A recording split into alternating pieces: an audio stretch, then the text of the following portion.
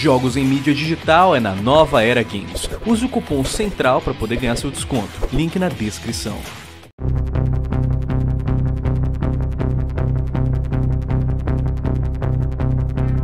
Galera, recentemente a gente trouxe aqui na Central novidades sobre uma proposta de lei do deputado Júnior Bozella em que ele queria basicamente proibir e banir videogames no Brasil. A desculpa dele é que os videogames violentos estão influenciando as crianças e que a culpa de Suzano foi por causa de jogos. Então, ele criou uma proposta de lei justamente para proibir games no Brasil, mandar prender pessoas que estão é, alugando, vendendo, sabe? Basicamente como se fosse um tráfico de jogos eletrônicos, só que violentos. É um absurdo total. A gente já trouxe isso na central, a gente já falou dos absurdos e o mais importante, teve uma enquete pública apresentada pela aplicação dessa, dessa PL e 100% das pessoas que votaram nela discordaram da proposta. Ou seja, o público brasileiro, essa, essa, essa, essa daqui que foi feita pela Câmara dos Deputados, uma enquete da Câmara dos Deputados, 100%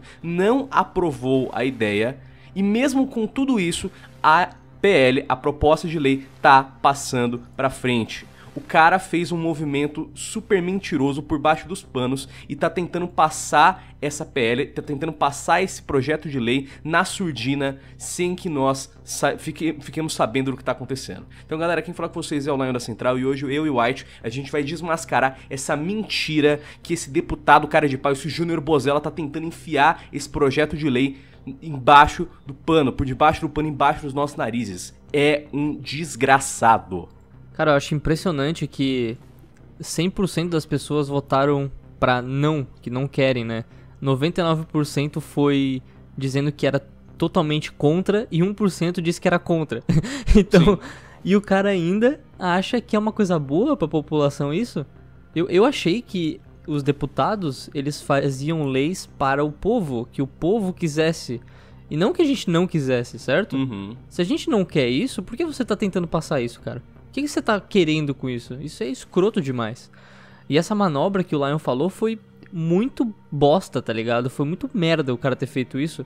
Porque o cara tá pegando uma outra PL de 2009, eu acho, se eu não me engano. É, 2009. Do deputado do Mato Grosso, o Carlos Bezerra.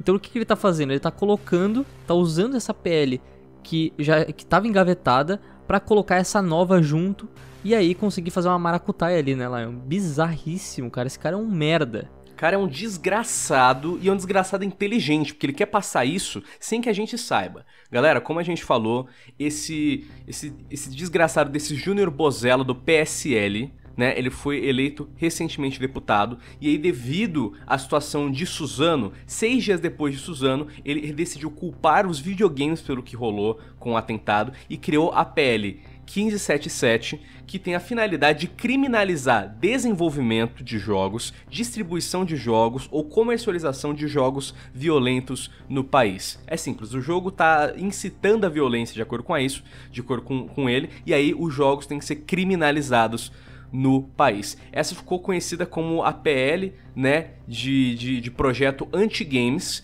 E aí o que acontece? Pró, a própria Câmara dos Deputados fez uma enquete pública e 100% de desaprovação. A população, ninguém concordou com essa PL. Como o Ed falou, 99% discorda completamente e 1% discorda na maior parte. Ou seja, se essa PL fosse aprovada, claramente ia dar o que falar, mesmo para gamer e mesmo para quem não é gamer. Porque provavelmente a mídia ia cobrir que 100% das, da população não aprovou isso e ainda assim ela foi aprovada pelos deputados. Então o que acontece? O Júnior Bozello, desgraçado por trás dessa pele, ele já viu o que tá acontecendo, ele já viu que ele não pode deixar passar essa pele do jeito que tá. Então, olha que desgraçado esperto. Ele pegou o projeto de lei dele e ele não quer mais passar o projeto de lei dele. Ele pegou o projeto de dele, de, dele e anexou certo? A um outro projeto de lei de 2009. É um projeto antigo chama, é, chamado como tipificação do crime de difusão à violência. É basicamente uma proposta de lei feita por outro deputado, é o deputado Carlos Bezerra do Mato Grosso. Nessa proposta de lei é, é, é basicamente crimes que estão incitando a violência no Brasil. E aí tem uma lista de várias coisas que incitariam a violência no Brasil e que deveriam ser criminalizadas. A, a, a ideia é colocar todas as coisas do projeto Anti-Games como sendo um dos tópicos do crime de difusão à violência, entende? Então, não é mais uma PL só de anti-games. Agora, toda a, a, a, ideia de, da lei anti-games é apenas um tópico em um outro projeto de lei que esse sim tem um potencial de passar. Vocês conseguem entender como o cara é esperto? Não é só uma lei. Agora, essa lei é um adendo, é apenas uma parte de uma outra lei que pode ser votada. O cara é muito esperto, mas ainda um desgraçado, velho. O cara literalmente quer, quer proibir jogos e assim, ele nem sabe que é um jogo violento, vai. Ele nem sabe que é um jogo violento. Sim, tem até a questão de que o projeto dele está sendo bastante criticado em questão de. Ele não fala o que, que é um jogo violento, sabe? Ele, ele, não, ele só diz que, ah, se o jogo incita violência tem que ser proibido. Tá, então. E aí? É, o, o Mario, a gente pula em cima do, dos bichinhos lá e mata. Isso é incitar violência? A gente não sabe. Ele não, não especificou no projeto dele. E outra coisa que eu já falei no outro vídeo, vou repetir aqui, para quem não viu aquele vídeo é, saber também, que é a questão da classificação indicativa. Qualquer país tem essa porra de classificação indicativa. Se o jogo tá ali para maior de 18 anos, você não tem que banir nada incitando a violência, sabe? Porque, né? É para maior de 18, velho. Entendeu? Então você vai banir também filmes, vai banir também séries, você não vai fazer isso, né? Você vai deixar só no, no cu do videogame, né? Exatamente. E aí isso é meio complicado, ele devia especificar ali, ó, que sei lá, é, é, vamos fiscalizar, por exemplo, o, o, o, sei lá, mano, quem tem que decidir isso aí é os pais, tá ligado? Uhum. Não, é nem, não é nem o Estado. Então, cara, eles têm que pegar isso aí e engavetar isso aí e nunca mais tirar, velho. Esse, cara, esse projeto não pode passar de jeito nenhum, velho. O projeto não considera classificação indicativa.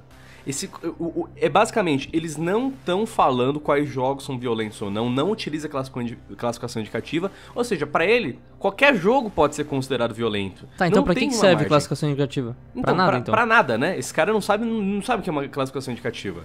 Então é um absurdo, é um absurdo. Esse desgraçado, esse desgraçado não especifica e ele quer mudar quer propor mudança no Código Penal, velho. Ele quer detenção de 3 até 6 meses ou multa para quem tá desenvolvendo, importando, vendendo, emprestando, alugando, sabe, qualquer coisa com jogos eletrônicos que talvez incitem a violência.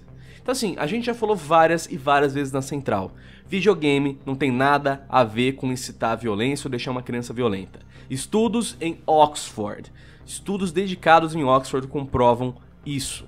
Mas assim, não importa se os estudiosos comprovam por A mais B que isso não acontece. O desgraçado vai lá, tem interesses próprios, ele acha que sabe de tudo e quer fazer uma pele disso. E não importa se 100% da população não concorda com isso. O desgraçado agora quer anexar em outra PL.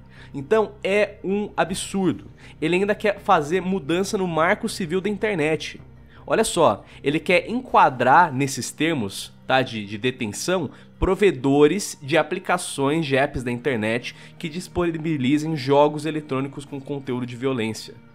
Então, mano, não importa se você é um desenvolvedor, um jogador ou se você, sei lá, é a EA. Se você tem alguma coisa que tem alguma coisa a ver com jogo violento do Brasil, é cadeia nele. Esse cara é louco. Esse cara é maluco. E ele, ele vai acabar com a indústria. Ele quer fuder com, com a indústria dos videogames do Brasil. E o pior é, ele anexando esse projeto de lei em um projeto de lei maior, como eu falei, isso não é mais uma PL só dele. Agora ele está anexando na PL, né, de crimes de, de incitação de violência em geral.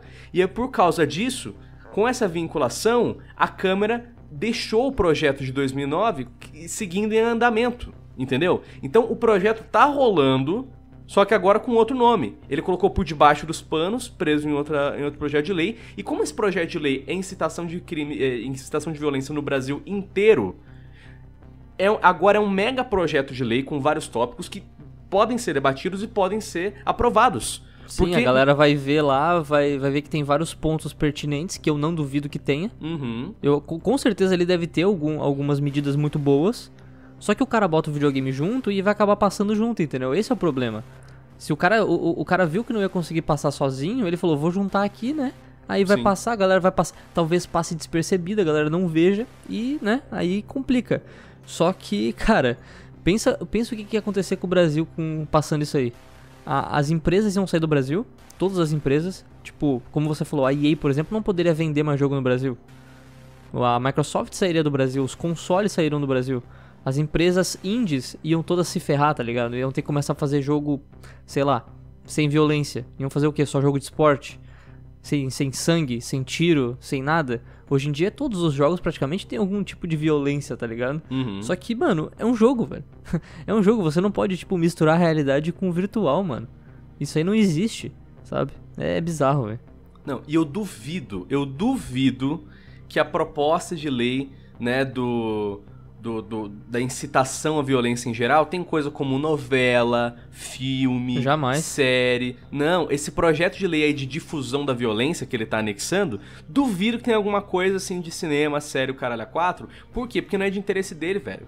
Difusão da violência vai ser não sei o que, organização Mas a Raquel, a. Raquel apanhando de raquete na novela tá tranquilo. Não, a mina lá apanhando, abuso, matando delegado, querendo matar filho lá, lá nas novelas, velho.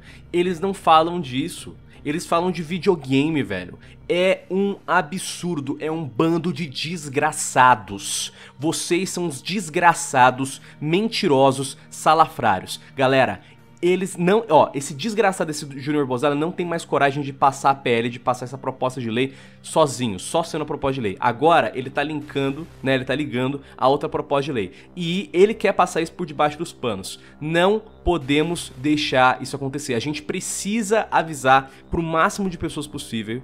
A gente tem que compartilhar essa notícia pro máximo de amigos que a gente tem e deixar todo mundo ciente do que tá acontecendo. Porque a gente não pode deixar isso rolar, velho. A gente não pode deixar, ele tá querendo, ele tá bancando esperto, pass- passando isso por debaixo dos panos. Ele tá querendo passar por cima dos 100% de votos negativos. A gente não pode deixar a galera ficar sem saber disso. Então compartilhe essa notícia, avisa todo mundo que você conhece e não deixem esse desgraçado fazer isso. A gente tem que protestar, a gente tem que criticar, a gente tem que falar todo mundo. Porque se essa porra desse projeto de lei aí de, de incitação de violência em geral é debatido e passa, vai dar merda pra videogame, velho. Pra todos os, todos os games. A indústria dos games no Brasil vai sofrer um, um seríssimo golpe. A gente não vai ter acesso a grande quantidade de games. Mano, prender pessoas por desenvolver jogos, velho. Você é um desgraçado, você não tem o que fazer da sua vida. Você não, você não presta pra administrar. Você fica fazendo proposta de lei pra dar parabéns pra jornalistazinho e pra dar, dar honra pra jornal e associação de porto. Você é um desgraçado que rouba dinheiro do público e não merece o seu cargo.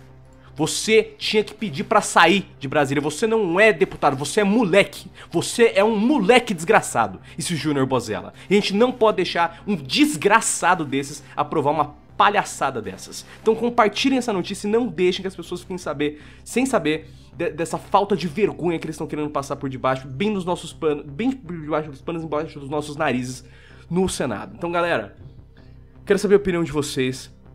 Deixe a sua opinião nos comentários, bora debater sobre essa falta de vergonha na cara. E é claro, se inscreva aqui na Central para não perder nossas próximas notícias, nossas próximas atualizações dessas safadezas que os políticos estão fazendo aqui no Brasil.